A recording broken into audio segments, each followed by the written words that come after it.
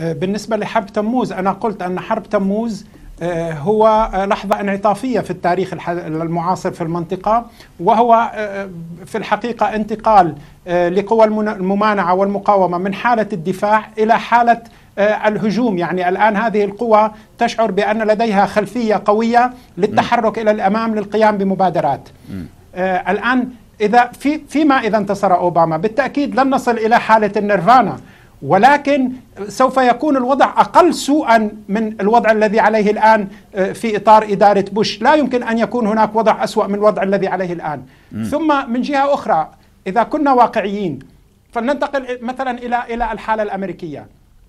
أوباما آه، لديه إرث ثقيل فشل سياسي في العالم لإدارة بوش، لديه أزمة مالية مستعصية، لديه آه، آه، ولايات متحدة مكروهة على المستوى الشعبي والرسمي في جميع أنحاء العالم.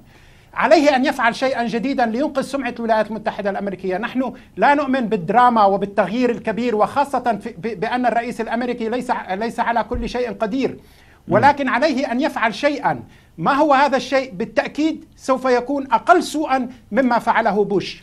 هذا من ناحية اذا لدينا ولايات متحدة الأمريكية مع مشاكل كبيرة، في الطرف العربي الطرف المقاوم والممانع. لدينا انتصار تموز لدينا تحرير غزة لدينا موقف سوري إيراني قوي. استطاع أن يواجه إدارة بوش. يعني لا أعتقد أن من استطاع أن يقول لا لهيمنة إدارة بوش سوف لن يقول لا لأوباما. إذا إذا طرح أوباما مشروع هيمنة في المنطقة. م. وأنا أعتقد أن أن برنامج أوباما يعني ليس ليس ورديا. برنامج أوباما لا يختلف كثيرا عما عما عما يطرحه الجمهوريون بالنسبة للمنطقة. يعني حتى في العراق حتى بالنسبة لدعم إسرائيل وبالنسبة لأفغانستان وبالنسبة لإيران هناك ربما تغير في الشكل ولكن ليس هناك آه، تغير في المضمون. لذلك نحن لا, لا لن ندخل الجنة مع انتصار أوباما لكن سيكون المناخ العالمي أفضل بكثير مما كان عليه الوضع في عهد بوش. لاحظ دول الممانعة وخاصة سوريا وإيران. وأنا هنا أتحدث عن سوريا بشكل خاص. تعرضت لضغوطات لم يتعرض إليها دولة في العالم في التاريخ المعاصر.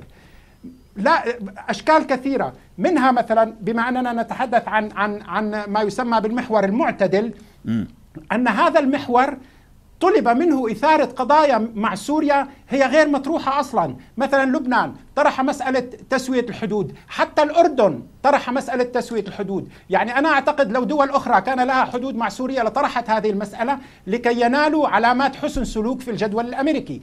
هذا المناخ أعتقد أنه الآن انتهى. ليس فقط بسبب التغيرات في الولايات المتحدة الأمريكية وبسبب أن المحور المعتدل والمحور المقاوم استطاع أن يقف في أصعب المراحل. أريد أن أشير إلى ناحية فقط أن إيران وبخاصة سوريا آه، كان أمامها مهمات يعني الرئيس بشار الأسد كان أمامه مهمات لم تكن أمام حافظ الأسد ولم تكن أمام جمال عبد الناصر. دائما كان هناك من يدعم العرب سواء اتحاد سوفيتي أو رأي عام عالمي أو مجلس أمن. أما في مرحله في هذه المرحلة السبع سنين الماضية كانت سوريا تقريبا وحيدة حتى أن هناك كان عرب ضدها إضافة إلى أنه لأول مرة في تاريخ المنطقة المعاصر كانت هو على الحدود السورية قوات أمريكية بريطانية في حالة قتال أي أنها في ظرف ربع ساعة تتلقى الأوامر للعدوان على سوريا كما حصل قبل أيام. لكن سوريا صمدت في مرحلة لم تمر لم طيب تمر آه يعني على أي بلد عربي نعم. وحتى عالمي في التاريخ المعاصر. دكتور ولا أعتقد دكتور كيف كيف يمكن لنا أن نتحدث عن إيران. آه، مناخات جديدة؟ إذا كانت الصورة أن آه، باراك أوباما يريد أن يحافظ على التفوق النوعي الإسرائيلي في المنطقة لا يريد أن يسمح لإيران بامتلاك طاقة آه، نووية. و الدول الممانعة وإيران وسوريا لا تريد يعني طالما كما قلت لم تستجيب لإدارة جورج بوش التي كانت تهدد بأعمال عسكرية فكيف ستستجيب لأوباما؟ وبالتالي آه، هنا التشكيك عن أي مناخات جديدة يمكن أن نتحدث في ظل آه، آه، هذا التمسك بالمواقف من كلا الطرفين.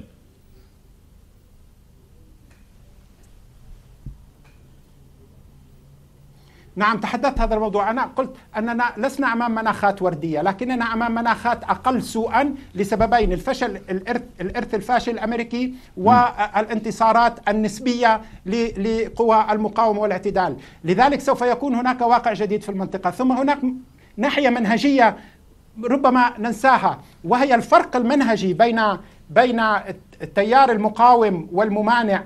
في المنطقة والتيار الآخر التابع للولايات المتحدة الأمريكية. أن تيار الممانعة يعترف بالآخر. نحن نعترف حتى بإدارة بوش ونريد أن نتعامل مع هذه الإدارة. لكن هم الذين طرحوا مشروع أو طرحوا آه، شعار من ليس معنا فهو ضدنا. هم لم يعترفوا بالآخر أما نحن فاعترفنا بالآخر. نعم. حتى أه. على المستوى العربي.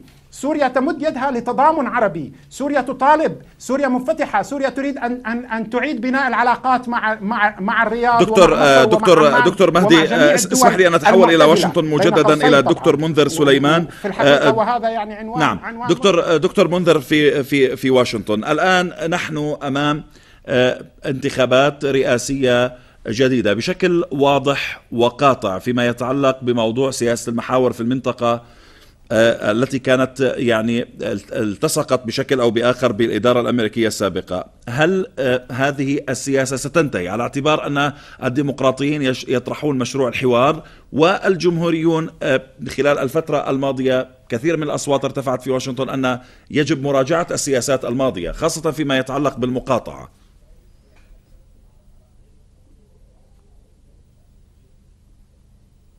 أنا أود أن أشدد مرة أخرى على السلوك الإقليمي وليس سلوك الولايات المتحدة أنا م. أعتقد الولايات المتحدة الآن في عملية انتقالية تاريخية